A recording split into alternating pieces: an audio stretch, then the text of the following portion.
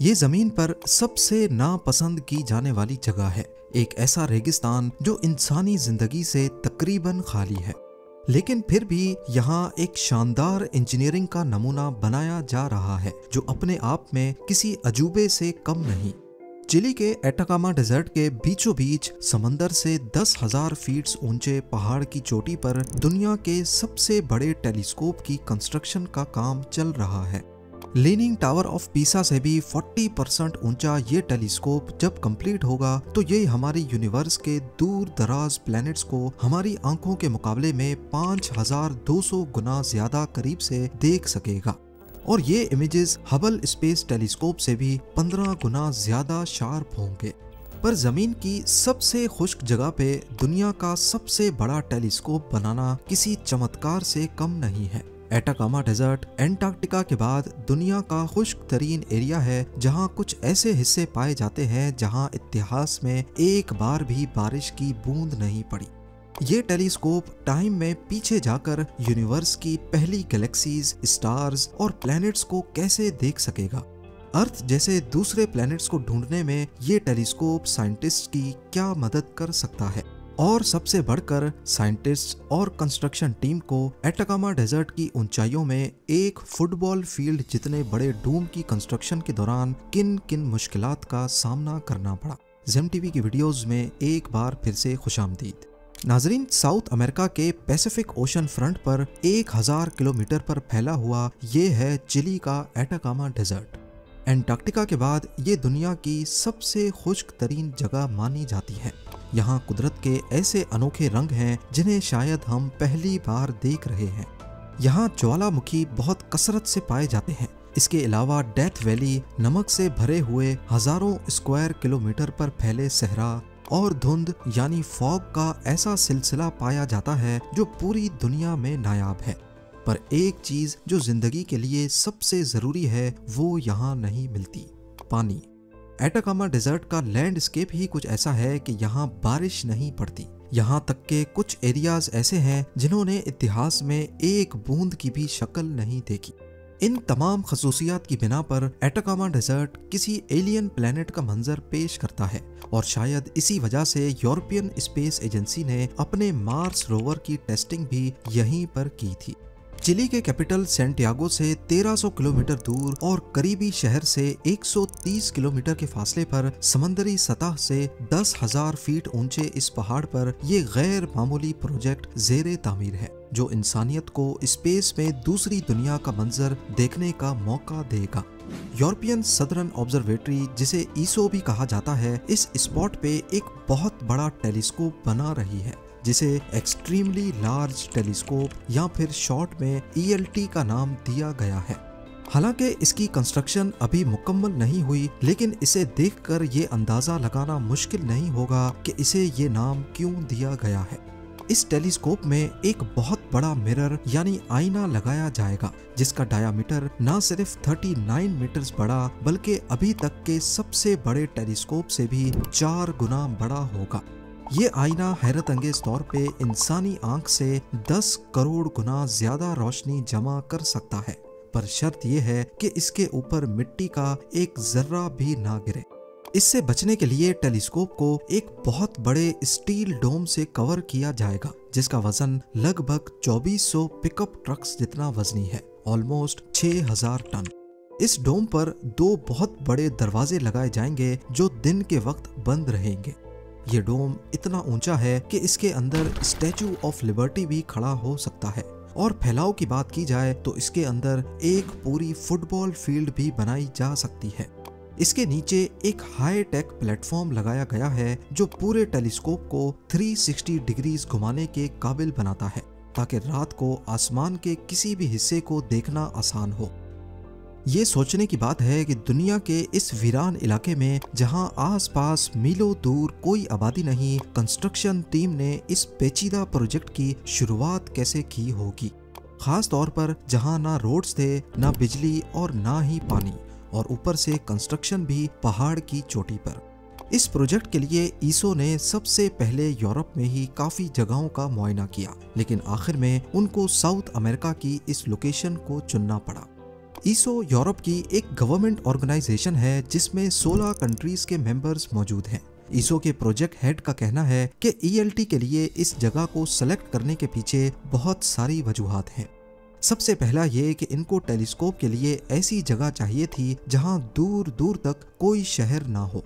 उसका रीजन है light pollution. आपने देखा होगा कि रात के वक्त भी अक्सर शहरों के ऊपर रोशनी होती है और अगर ऊपर बादल हों तो वो भी साफ़ नज़र आ रहे होते हैं। ये रोशनी हज़ारों लाइट ईयर्स दूर किसी सितारे की रोशनी से तो काफ़ी ज़्यादा ही होती है, जो टेलीस्कोप से जनरेट होने वाले इमेज को खराब कर सकती है। पर इस तरह की बहुत सारी लोकेशंस खुद यूरोप में भी पहाड़ों पर मौजूद हैं। तो फिर साउथ अमेरिका की इस लोकेशन को ही क्यों चुना गया? ई को सिर्फ़ लाइट पॉल्यूशन से बचाना ही काफ़ी नहीं, साफ़ आसमान का होना भी बहुत ज़रूरी है। यूरोप में ज़्यादातर ट्रॉपिकल मौसम रहता है, जिसकी वजह से अक्सर यहाँ बादल होते हैं। पर एटाकामा डेजर्ट क्योंकि दुनिया के खुश्क तरीन टुकड़ों में से एक है, तभी यहाँ साल के तीन सौ पैंसठ दिनों में से 320 दिन बादल नहीं होते, जो कि दूर दराज गैलेक्सीज को देखने के लिए बहुत ज़रूरी है। 2010 में ईसो की टीम ने मुख्तलिफ़ जगह पर टेस्ट किए और आखिरकार उनको एटाकामा डेजर्ट की ये लोकेशन सबसे बेहतरीन लगी। 3000 मीटर ऊँचा पहाड़, जिसे सेरो आमजोन्स कहा जाता है। पर मसला ये था कि दूसरे पहाड़ों की तरह ये काफ़ी नोकीला पहाड़ था। यानी इस पर किसी किस्म की कंस्ट्रक्शन करना इस कंडीशन में मुमकिन नहीं होगा। लिहाजा इस पहाड़ की चोटी को काट कर सात फुटबॉल फ़ील्ड जितना बड़ा एरिया सीधा करना बहुत ज़रूरी था।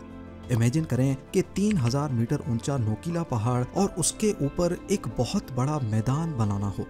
ये काम एक्सकवेटर्स की मदद से करना बहुत मुश्किल भी था और खतरनाक भी।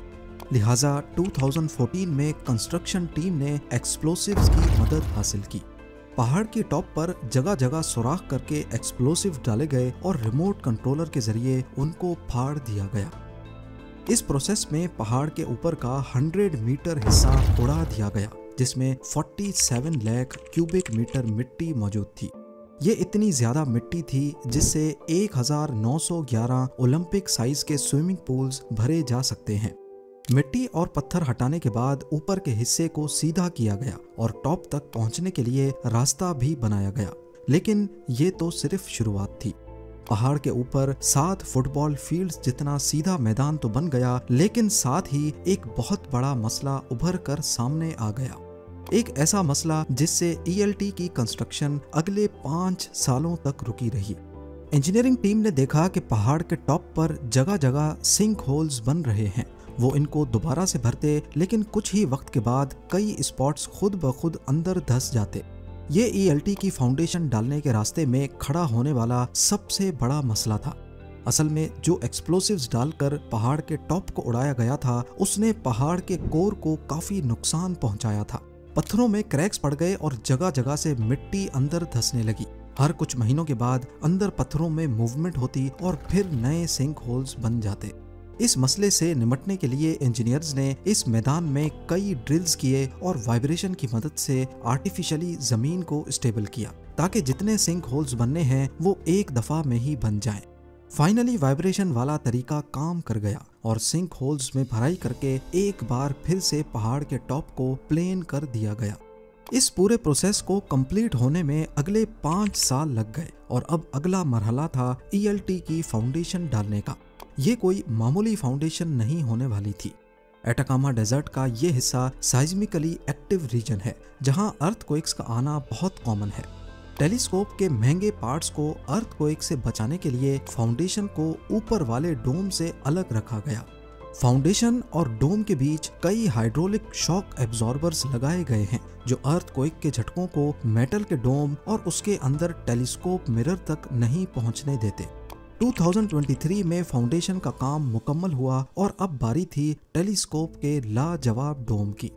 डोम का स्टील स्ट्रक्चर अलग अलग हिस्सों में पहाड़ के नीचे बेस कैंप में ही बनाया गया। उसके बाद इन हिस्सों को पहाड़ के ऊपर पहुँचाने के लिए इन रिमोट कंट्रोल्ड ट्रक्स का इस्तेमाल किया गया, जो एक एक करके स्टील फ्रेम को पहाड़ की चोटी तक पहुंचाते थे।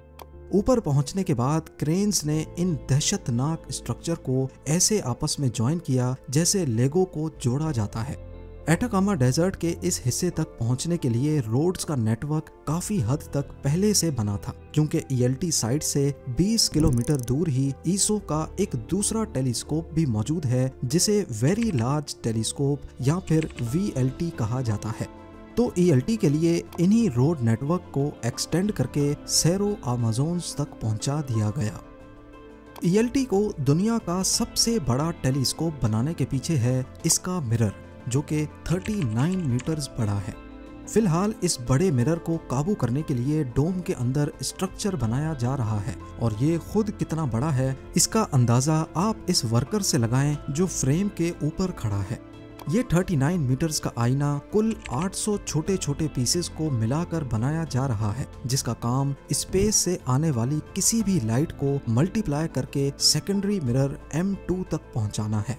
M2 से ये लाइट M3 और फिर M4 तक जाएगी। M4 इमेज को ज़्यादा शार्प बनाएगा और इस काम के लिए डोम पर लगी ताकतवर लेजर बीम्स का इस्तेमाल किया जाएगा। ये लेजर्स आमतौर पर ऐसी वेव लेंथ पर सेट की जाती हैं जो 90 किलोमीटर आसमान में सोडियम एटम्स को एक्साइट कर देती हैं, जिससे वो चमकने लगते हैं और एक आर्टिफिशियल स्टार बन जाता है। टेलीस्कोप इस आर्टिफिशियल सितारे को एक रेफरेंस पॉइंट के तौर पे इस्तेमाल करता है ताकि रियल टाइम में ये पता लगाया जा सके कि एटमॉस्फेयर किस तरह से रोशनी को डिस्टॉर्ट या धुंधला कर रहा है। जब एटमॉस्फेयर में मौजूद डिस्टॉर्शन का पता लग जाता है तो फिर आसानी से टेलीस्कोप के इमेज में मौजूद धुंधलेपन को खत्म कर दिया जाता है। इस पूरे प्रोसेस को एडॉप्टिव ऑप्टिक्स कहते हैं। M4 से इमेज का धुंधलापन खत्म करने के बाद ये लाइट M5 तक जाती है और यहाँ पर इमेज को ठीक करके प्रोसेसिंग के लिए भेज दिया जाता है। टेलीस्कोप की शानदार वर्किंग के बारे में तो बहुत हो गया। यहाँ सबसे बड़ा सवाल ये है कि ईएलटी के ज़रिए हमें आखिर हासिल क्या होगा? ईएलटी वो वाहिद टेलीस्कोप होगा जो हमारे सोलर सिस्टम के बाहर एक्सो की डायरेक्ट फोटोग्राफ ले सकेगा। वो प्लैनेट्स जिनमें ज़िंदगी के आसार होने का खदशा है। फ़िलहाल इन एक्सो को दूसरे टेलीस्कोप्स इनडायरेक्टली देख सकते हैं। सिर्फ़ तब जब वो अपने सितारे के सामने से गुजरते हैं तो उनका साया नज़र आता है। डायरेक्ट फोटोग्राफ के ज़रिए हमें ये मालूम पड़ सकता है कि उन प्लैनेट्स पे एटमॉस्फेयर कैसा है और एटमॉस्फेयर से पता लगेगा कि वहाँ पर पानी है या नहीं कार्बन डाइऑक्साइड है या ऑक्सीजन या फिर कोई ऐसी मखलूक तो नहीं जो अर्थ की तरह पॉल्यूशन पैदा कर रही है।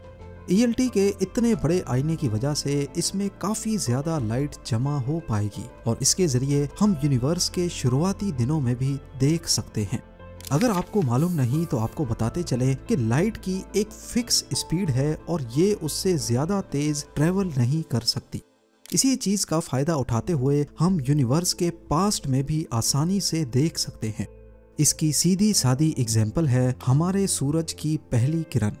रोज़ाना जब सनराइज होता है तो असल में हम सूरज के पास्ट को देख रहे होते हैं, क्योंकि सूरज की रोशनी दुनिया तक पहुँचने में तकरीबन आठ मिनट लगाती है।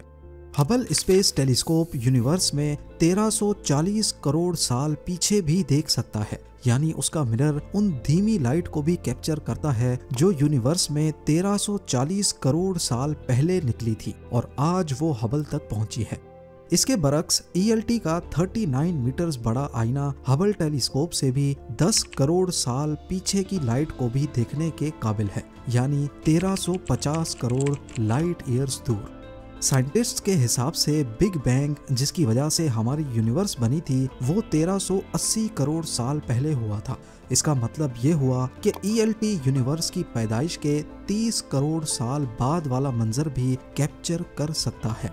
यहाँ आपका ये भी जानना ज़रूरी है कि ईएलटी बेशक ही काफ़ी बड़ा है, लेकिन ये सिर्फ़ आइनों पर मबनी टेलीस्कोप्स में सबसे बड़ा होगा। जबकि रेडियो टेलीस्कोप्स में एक बहुत बड़ी डिश होती है, जैसा कि गोल्डन आई में है। आईने के बजाय, ये टेलीस्कोप्स रेडियो वेव्स के ज़रिए पास्ट में देखते हैं और फिर कंप्यूटराइज्ड प्रोसेस के ज़रिए उनकी तस्वीर बनाई जाती है। पर डायरेक्टली देखने में ई e अभी तक दुनिया का सबसे बड़ा टेलीस्कोप होने वाला है। बात की जाए इस पर आने वाले खर्चे की तो ई e पर हैरत अंगेज तौर पे 160 करोड़ डॉलर्स का खर्चा एस्टिमेट किया गया है। तेरह हज़ार छह सौ करोड़ रुपए। ये करीब इतना ही खर्चा है जितना दुनिया की सबसे ऊँची बिल्डिंग बुर्ज खलीफा को बनाने में लगा। एक्सपर्ट्स के मुताबिक ईएलटी की कंस्ट्रक्शन 2029 में मुकम्मल होगी। पूरी तरह तैयार होने के बाद शायद ये सबसे बड़े सवाल का जवाब दे पाए कि क्या वाकई हम इस यूनिवर्स में अकेले हैं या फिर हज़ारों लाइट ईयर्स दूर अर्थ जैसे किसी प्लेनेट पे भी ज़िंदगी बसती है। उम्मीद है जेम टीवी की ये वीडियो भी आप लोग भरपूर लाइक और शेयर करेंगे। आप लोगों के प्यार भरे कमेंट्स का बेहद शुक्रिया। मिलते हैं अगली शानदार वीडियो में।